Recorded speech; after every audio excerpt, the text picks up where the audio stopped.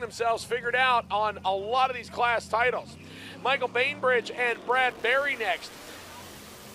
Berry in the White Fox Mustang on the right side. Michael Bainbridge in the 2014 Mustang on the left side.